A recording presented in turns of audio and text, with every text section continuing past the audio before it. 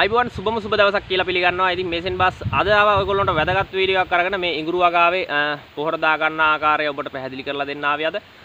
ඉතින් පොහොර දා ගන්න ආකාරය සහ මේ පොහොර මිශ්‍රණය හදාගන්නේ කොහොමද කියලා ඔබට අයිඩියා එකක් ගන්න පුළුවන් මේ වීඩියෝ එක අවසන් වෙනකම් බලුවොත්. ඉතින් ඔබ මේසෙන් බස් channel එක subscribe කරලා නැති කෙනෙක් නම් subscribe කරලා පහලින් තියෙන bell icon එකටත් අනිවාර්යෙන් එනගෙන එන්න කියලා ආරාධනා කරනවා ඔබට මේසෙන් බස් වීඩියෝ එකක් දාපු තැනින් notification ගෙන්න ගන්න පුළුවන්. අලුත් අලුත් තාක්ෂණික දැනුම අරගෙන අලුත් දේවල් සොයාගෙන මේසෙන් බස් වෙනවා ඔයගොල්ලොන්ට ඒ තාක්ෂණික දැනුම දීලා යන්න. අපි මේ ඉඟුරු වගාව සිටවා මාස 7 සිට අපිට අස්වනු නෙලා ගැනීම සිදු කරගන්න පුළුවන්. මාස 6 7 ওই කාල සීමාවල් වල ඉඳලා අවුරුද්දක් යනකම් අපිට අස්වනු නෙලා ගන්න පුළුවන් මේ චීන ඉඟුරු වගාවේ රැංගොන් ඉඟුරු වගාවෙත් එලෙසමයි දේශීය ඉඟුරු වගාවේ නම් අවම මාස 8ක් 8කින් පස්සෙවත් තමයි අස්වනු නෙලීම සිදු කරගන්නේ.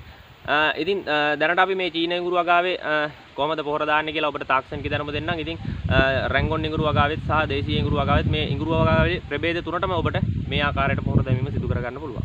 ඉතින් මේ වගාවේ මාස පහක් හයක් වගේ පමණ ගත වෙනකොට මේකේ මල් පිපෙනවා ඒ මල් පිපෙන කාල සීමාවෙදී අපි මේකේ පොහොර වතාවල් හතරක් විතර වගේ දාලා ඉවර කරගන්න ඕනේ. එතකොට අපි මාස දෙකෙන් පොහොර දානවා. ඊට පස්සේ නැවත මාස 3ෙන් පොහොර දානවා. ඊට පස්සේ නැවත මාස 4ෙන් පොහොර දානවා. නැවත මාස 5ෙන් පොහොර දානවා. ඉතින් මාස 5ෙන් පස්සේ අපි පොහොර දැමීමක් සිදු කරගන්නේ නැහැ. මොකද මේකට මේකේ මල් පිපීමක් සිදු වෙනවා. ඉතින් අපි මල් පිපීම කාල සීමාව වෙද්දී පොහොර දැමීම සිදු කරගන්නේ නැහැ. ඉතින් මේ පොහොර දැමීමත් සමග අපි මේ ඉඟුරු ශාකයේ මේ අලවර්ධනයක් වෙලා තියෙනවා ඔබ දකිනවා පුංචියට. මේ අල උඩට මතු වුණාට පස්සේ අපි අනිවාර්යෙන් මේකට පස් එකතු කරගන්න ඕනේ. මේ අල නැත්තම් අවුවට නිරාවරණය වෙලා සවුත් වෙන්න බලනවා. එතකොට හොඳ අස්සන්නක් බලාපොරොත්තු වෙන්නත් පුළුවන් අපිට ඉතින් වැඩි කතන්දරයක් නැතුව අපි යමු වීඩියෝ එක ඉස්සරහට ඉතින් ඔබට මුලින් පැහැදිලි කරලා දෙන්නම් මේ ඉඟුරු වගාවට වයස වෙනවා මේ වෙනකොට මාස දෙකක් විතර වගේ කාල සීමාවක් ගත වෙලා තිනවා. ඉතින් අපි අනිවාර්යෙන්ම අපි දවස් 45ත් මේ මාසයත් දවස් 60ත් අතර කාලය තුල අනිවාර්යෙන් අපි මේ පොහොරයේදීම සිදු කර ගන්න ඕනේ මේ ඉඟුරු වගාවට කාබනික හෝ රසායනික. ඉතින් ඔබට අද කියලා දෙන්නේ මේ රසායනික පොහොර යොදන ආකාරය දැනටමත් අපේ රටේ රසායනික පොහොර හිගයක් තියෙනවා. නමුත් මේ කන්නේ ඔබට වගාව කරගන්න ගලප ගන්න පොහොර හොයාගන්න බැරි වෙන එකක් නෑ පොඩ්ඩක් වෙහෙස වුණොත්. ඉතින් තැන් තැන් වල ඉතින් හංගලා හැම තියෙන පොහොර වලින් ටිකක් හොයාගෙන මේ තාක්ෂණික දැනුමත් අරගෙන දාන්න කියලා පුංචි පණිවිඩයක් දෙනවා. ඉතින් ඔබට පොහොර දාන ආකාරය ඔබට පැහැදිලි කරලා දෙන්නම්. අපි පළවෙනි පාර ගස් දෙකක් අතරට තමයි පොහොර යොදන්නේ.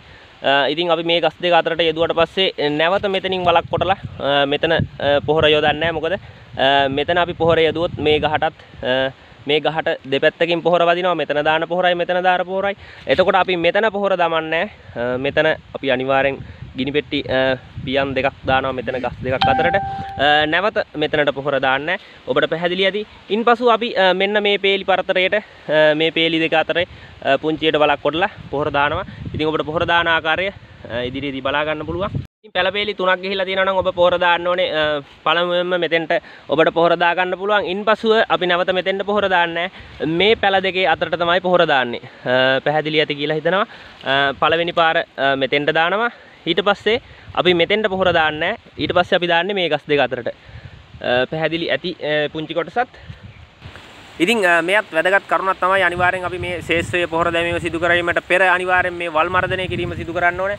ඉතින් පුංචි පුංචි වල් පැලෑටි පැල වෙලා තියෙනවා. ඉතින් මේ පුංචි පුංචි වල් පැලෑටි ඉක්මනින් වර්ධනය වෙනවා මේ මේවා තියෙද්දි පොහොර දැම්මොත් අනිවාර්යෙන් ඒවා ගලවා ඉවත් කර ගැනීම වැදගත් වෙනවා. ඉතින් පොහොර දැමීමට වලල් කැපීමට පෙර මෙන්න මේ වගේ උදැල්ලක් ඔබ සාදා ගන්නවා නම් ගොඩක් වටිනවා. මොකද අඟල් 9ක් පළල උදැල්ලෙන් අපිට ලොකු උදැල්ලකින් මේ වල කොටන්න අමාරුයි. මොකද මේකේ අඩි එකමාරක විතර වගේ පරතරයක් තමයි තියෙන්නේ මේ ගහට. ඉතින් අපිට අඟල් 9 උදැල්ලක් මෙතනින් දාලා පැත්ත හරවලවත් කොට ගන්න අමාරුයි. මේක පඳුර ලොකු වෙද්දි මේ පඳුර වලට හානියක් වෙන්න ඉඩ තියෙනවා. ඉතින් ඒක නිසා මෙන්න මේ වගේ පුංචි උදැල්ලක් භාවිත කරගන්නවා නම් ගොඩක් හොඳයි ගොඩක් පහසුයි ඕන විදිහට අපිට පුංචි වලක් කපා ගන්න පුළුවන්. ඉතින් වල ගොඩක් ජබුරට කපන්න අවශ්‍ය නැහැ. අගල් දෙකක් දෙකමාරක් විතර වගේ ප්‍රමාණයක් වල කැපුණා නම් ඇති. ඉතින් ලොකුවට වල කපන්න යන්න එපා. මොකද මේ මුල් පද්ධතිය වලට හානි වෙන්න ඉඩ තියෙනවා. ඉතින් පුංචි වලක් කොටලා පොහොර ටික දාගන්න කියලා ඒ පුංචි පණිවිඩයක් දෙනවා. අපි යමු කොහොමද වලවල් කොටා ගන්න කියලා බලන්න මේ ශේෂ්ත්‍රයේ. ඉතින් ඔබ අනිවාර්යෙන් සැලකිලි යුතුමත් වෙන්න ඕනේ මේ පොහොර දැමීම සිදු කරද්දී අපි වලවල් කොටද්දී අපි පොහොර දමද්දී මෙන්න මේ ආකාරයට තමයි අපි දාන්නේ. මෙතන පුංචි වලක් කොටා ගන්නවා. අපි නැවත මෙතන වලක් කොටන්නේ ඒ පඳුර ඇරලා මෙතනින් තමයි අනිත් වල කොටා ගන්නෙ. මොකද අපි මෙතන වලක් කොටන්නේ නැත්තේ? මෙතන දාන පොහොරයි. මෙතන වලක් කොටලා පොහොර දැම්මොත් එතන දාන පොහොරයි. පොහොර දෙපැත්තම ගහට වැදිලා ගහට හානියක් වෙන්න දිනවා පොහොර සැර වැඩි වීමෙන් ඒක නිසා අපි අවශ්‍ය වෙන්නේ මේ දෙපේලියට පොහොර දාන්න. ඉතින් ඔබ පේලි තුනක් යනවා නම් අර පහුගිය කිව්ව ආකාරයට ගලප ගන්නත් පුළුවන්. ඔබ පේලි තුනක් යනවා නම් පළවෙනි දෙවෙනි මාසෙන් දාද්දි ඔබට මෙතනින් වලක් කොටලා නැවත මෙතන අවශ්‍ය නැහැ කොටන්න. මෙන්න මෙතනින් වලක් කොටා ගත්තාම ඔබට මාරු කරලා ඒ විදිහට පොර දාපුවාම සාර්ථකව මේ වගාවේ අස්වැන්න වැඩි කරගන්න පුළුවන්. ඉතින් අපි යමු කොහොමද මේක නිවැරදිව බලවල් කොටන්නේ ඉදිරියට කියලා බලන්න. ඉතින් මේ බීජ සිටවීමේදී මේ පැල එහෙම යන්න ඉඩ තියෙනවා බොහෝ දුරට මේවා වහද්දී ඉතින් ඔබම කරන්නේ මේවා කුලියට දාලා කරන කෙනෙක් වෙන්න පුළුවන් ඔබ ඒ පුංචි පුංචි අඩුපාඩු තියෙන්න පුළුවන්. ඉතින් පැලේ ආසන්නෙන් වගේ යන්න වලක් කපා ගන්න ඔබ ඒක ගලපගෙන ඉතින් අපි යමු කොහොමද පොර මිශ්‍රණය හදාගන්නේ කියලාත් බලන්න මේ කොටසින් පස්සේ. ඉතින් අපි දාන පොහොර වර්ගය ගැන ඔබට පොඩි පැහැදිලි කිරීමක් කරලා දෙන්නම්. ඔබ මේ දකින්නේ ජින්ජර් බූස්ටර් කියන පොහොර වර්ගය මේ ඉඟුරු සදාම නිෂ්පාදනය කරලා තියෙන පොහොර වර්ගයක්. ඉතින් ඔබට හොයාගන්න තියෙන්න පුළුවන් බලන්න try එකක් දීලා හොයාගන්න. ඊට පස්සේ අපි නිල් කැට කොටස් 10කට මේකෙන් එක කොටස් එකක් දාලා හොඳින් මිශ්‍ර කරලා අපි මේ ශේෂ්ත්‍රය යොදා ගන්නවා. ඉතින් මේක අඟල එන් කැප් එකක්. මේ අඟල එන් කැප් එකට ගිනි පෙට්ටි පියන් දෙකක් විතර වගේ අල්ලනවා සම්පූර්ණ පුරවලා එද්දි. ඉතින් මේකෙන් අඟල් කාලක් විතර වගේ පාතර බැස්සත් අවුලන්නේ ඔබ දාන පොහොර ප්‍රමාණය. ඉතින් ගිනි පෙට්ටිය එකහම පියන් එකහමාරක් විතර වගේ ප්‍රමාණවත් ඔබ දාගන්න ප්‍රශ්නයක් වෙන්නේ වගාවට. මෙන්න මේ වගේ කොටසක්. ඉතින් ඔබ ගිනි පෙට්ටියක් අරගෙන ඔබට මිනුම් එකක් මෙන්න මේ වගේ හදාගන්න පුළුවන්. ඉතින් පොහොර ගොඩක් මිල නිසා තමයි ඒ ආකාරයට ගලප ගන්න කිව්වේ. ඉතින් මේකේ තියෙන කලවම් පොහොර එකක් ඉතින් මේක තමයි මිශ්‍රණය කරලා හදාගන්න. ඔබට මේ මොහොතේ වෙළඳ පොලෙන් ගන්න පහසුම පොහොර වර්ගයක් තමයි මේ නිල්කට ඉතින් මේ උසස් ප්‍රමිතියෙන් උසස් වැඩි පොහොර වර්ගයක් භාවිතා කරන්න මේ නිල්කටත් කොටස් 10කට එකක් කලවම් කරලා මේ පොහොර වර්ගය නැත්නම් ඔබට හොයාගන්න. ඉතින් ඉදිරියේදී අපි ගලපගෙන කාබනික වගාවට හුරු වෙමු. ඉතින් ඔබ මේ පොහොර අර්බුදයක් එයි කියලා හිතුවේ නෑ මමත් හිතුවේ නෑ. ඉතින් කෙසේ වුණත් මේසින් බස් බීජ කොටු යන්න කාබනිකව යන්න තීරණය කරා. ඉතින් මුල් කාලෙදිම ඉතින් ඔබට බීජ කොටු පෙන්වන්නත් බැරුණා. ඒවා අරගෙන එන්නම් හැකි පමණින් ඉතින් වැඩ දහසක් තියාගෙන තමයි ගලපගෙන මේ ඔබට තාක්ෂණීය ධර්ම අරන් එන්නේ මේ සෙන්බස්. ඉතින් මේ පොහොර ටික අරගෙන අපි මේ කන්නේ වගාව ඔහොම යන්. ඉදිරියේදී අපි බලමු කොහොමද කාබනික වගාවට හුරු වෙන්නේ කියලා. ඉතින් මේ පොහොර කොටස් දෙක අපි හොඳින් කලවම් කරගෙන මේ ආකාරයට ගස් දෙකක් අතරට ගිනි පෙට්ටි පියන් එකහමාරක් දෙකක් අතර යොදා ගන්නවා. ඉතින් වීඩියෝ එකේ අවසානයක් වෙනකම් බලන්න නිසි අවබෝධයක් ගන්න මෙයින් ගලපගෙන ඔබට සාර්ථක වගාවක් කරගන්න. ඉතින් ඔබ පහුගිය කොටසේ දැක්කේ මාස දෙකකින් අපි ශේෂ්ත්‍රයට පොහොර දාන ආකාරය සිටවා මාස දෙකකින් මේ ඔබ දකින්නේ සිටවා මාස 3ක් විතර වගේ වර්ධනය වුණ ගහක්. ඉතින් මේ වයසේ වගේ වෙද්දී ඔබ දෙවනි වතාව පොහොර දාන්න ඕනේ. ඒත් ගස් දෙකක් අතරට ගිනි පෙට්ටි පියන් එකහමාරක් විතර වගේ ප්‍රමාණවත්. ඉතින් ඔබට අක්කර කාලක් එහෙමත් නැත්නම් පර්චේස් 40ක් වගේ භූමි ප්‍රමාණයකට ඔබට යනවා පොහොර කිලෝ 40ත් 50ත් අතර වගේ ප්‍රමාණයක් යනවා. අක්කර කාලක් එහෙමත් නැත්නම් පර්චේස් 40ක් වගේ භූමි ප්‍රමාණයක. ඉතින් ඔබ සිටවා තියෙන වලවල් අනුව තමයි ඒක තීරණය වෙන්නේ. ඉතින් ඔබට ගලපගෙන මේ තාක්ෂණික දැනුම අරගෙන යමක් කරගන්න පුළුවන්. ඉතින් මාස 4නුත් ඔබට පොහොර දා යොදන්නේ කොහොමද කියලා පුංචි පැහැදිලි කිරීමක් කරන්නම්. ඊට පස්සේ අපි තුන්වෙනි වතාව පොහොර යොදන්නේ මාස 4කින්.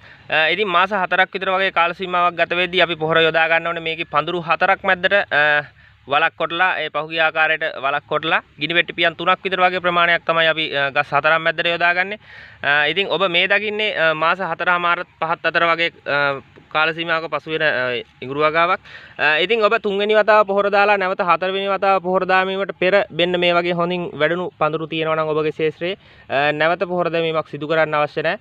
ඉතින් ඔබට එතකොට තුන්වෙනි තුන් පාරකින් පොහොර දාලා ඔබගේ ශේෂ්ත්‍රයේ පොහොර දැමීමේ කටයුත්ත අවසන් කරන්න පුළුවන්. ඉතින් ඔබ අනිවාර්යෙන් සැලකිලි යුතුමත් වෙන්න ඕනේ. මෙන්න මේ කාරණේත් ඔබ පොහොර යොදාගත්තයන් පසු අනිවාර්යෙන් මේ ජල සම්පාදනය කිරීම වැදගත් මේ ශේෂ්ත්‍රයට. මොකද අපි මේ පොහොර පොළොවට දැමීමෙන් පසු මේ පොළොව කරවුණොත් අපිට මේ පොහොර වලින් අපි ගහට දෙන්න බලාපොරොත්තු වෙන මේ පෝෂක පදාර්ථය දෙන්න බැරි වෙනවා අපිට. ඒක නිසා දින 3ක්වත් දවසකට එක්වරක් ගානේ අනිවාර්යෙන් අවම දින තුනක්වත් මේ ජල සම්පාදනය කිරීම වැදගත් වෙනවා. ඒ පුංචි කාරණාවත් ඔබ හිතර ගන්න කියලා පුංචි පණිවිඩයක් දෙනවා. අනිවාර්යෙන් මේ පුංචි කොටස් එක එකතු වුණොත් තමයි ඔබගේ සාර්ථක වගාවක් කරගෙන යාමට ඔබට ශක්තිය ධෛර්යය සහ ඔබගේ මානසිකත්වය ගලපා ගැනීමට හැකි වෙන්නේ මෙන්න මේ ආකාරයට ගලපගත්තොත් පමණයි. ඉතින් වීඩියෝ එක අවසානට යන්න කලින් මේ පුංචි කොටසත් ඔබ එකතු කරගන්න අනිවාර්යෙන් අවබෝධයෙන්. ඉතින් ඔබගේ වගාව මේ වෙනකොට කුමන වයසක තියෙනවද කියලා මේසෙන් බස් දන්නේ නැහැ. සමහර විට ඔබ අ, මාස දෙකෙන් පොහොර යොදන අවස්ථාවේ ඉන්න පුළුවන්. මාස තුනෙන් අ, පොහොර යොදන අවස්ථාවේ ඉන්න පුළුවන්. මාස හතරෙන් යොදන අවස්ථාවේ ඉන්න පුළුවන්. ඒ කොයි ආකාරයේ වුණත් ඔබට මේ පුංචි වීඩියෝ එකෙන් ඔබගේ ම, සම්පූර්ණ වගාවට පොහොර දැමීමේ අ, තාක්ෂණික දැනුම එකතු කරගන්න පුළුවන් නිසි අවබෝධයෙන් අ, එකතු කරගත්තොත් ඉතින් නැවත මේසෙන් බස්ට කෝල් දීලා අහන්න අවස්ථාවක් නැහැ ඇත්තටම. ඉතින් එහෙම ගොඩක් දෙනෙක් කතා කරනවා. එතකොට අපහසුයි මේසෙන් බස්ට මේ කරගෙන යන්න. අ, මොකද වැඩ රාශියක් මැද්දේ තමයි මේ ගලවගෙන ඔබට තාක්ෂණික දැනුම දෙන්න එන්නේ.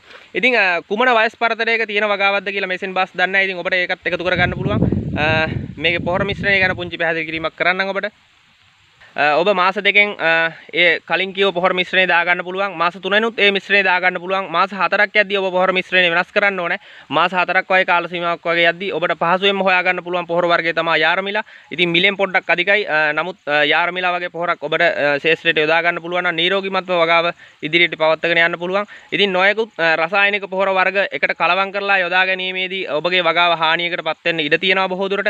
අ, ඉතින් මේසෙන් බස් මේ අත්දැකීමෙන් අරගෙන ආපු අ, පුංචි කොටසක් ඔබට එකතු කරගන්න හිතුණා. ඉතින් ලෝභකමක් නැතුව ගුරුමුෂ්ටිය ඔබට බෙදලා හදලා දීලා යන්න තමයි මේසෙන් බස්ගේ වෑයම. ඉතින් මේ අත්දැකීමෙන් අ, එකතු කරගන්න දේවල් තමයි ඔබට අරගෙන එන්නේ. අ, ඉතින් ඉදිරියේදීත් අ, මේ අත්දැකීමෙන් එකතු කරගත්ත පුංචි පුංචි දේවල් ඔබට ගොඩක් දෙන්න තියෙනවා. අ, ඉතින් මේ දේවල් ගන්න ඔබ අනිවාර්යෙන් මේසෙන් බස් channel එක subscribe කරලා bell icon එකටත් අනිවාර්යෙන් ඇනගෙන යන්න කියලා පුංචි පණිවිඩයක් දෙනවා. ඉතින් ඔබ කැමති නම් ඉතින් ඔබට හිතට දැනුණා නම් හදවතට දැනුණා නම් මේ වීඩියෝ එක වටිනවා කියලා තවත් කෙනෙකුට අ, වැදගත් වෙයි කියලා හිතෙනවා නම් අනිවාර්යෙන් වීඩියෝ එක share කරලා ලයික් එකක් දාලා යන්න අමතක කරන්න එපා. ඉතින් අ, තවත් වැදගත් ලස්සනම ලස්සන වීඩියෝ එකකින් හමු. ගිහිල්ලා එන්නම් තෙරුවන් සරණයි සුබ දවසක් ඔබට ජය වේවා.